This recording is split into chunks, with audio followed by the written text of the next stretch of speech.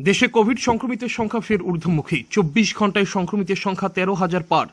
গত কয়েকদিন ধরেই ঊর্ধ্বমুখী সংক্রমণ। টানা দুদিন দৈনিক সংক্রমিতের সংখ্যা বারো হাজারের উপরে থাকলেও শনিবার তা বেড়ে দাঁড়িয়েছে তেরো হাজার দুশো ষোলো। কেন্দ্রীয় স্বাস্থ্য মন্ত্রকের তথ্য অনুযায়ী শুক্রবার এই সংখ্যা ছিল বারো হাজার আটশো সাতচল্লিশ। দেশে এখনও দৈনিক সংক্রমণের শীর্ষে মহারাষ্ট্র। ছাড়িয়েছে চার হাজারের ঘর। এরপরে রয়েছে কেরল, দিল্লি, হরিয়ানা ও কর্ণাটক। গত চব্বিশ ঘন্টায় করোনায় সংক্রমিত হয়ে মারা গেছেন তেরো জন।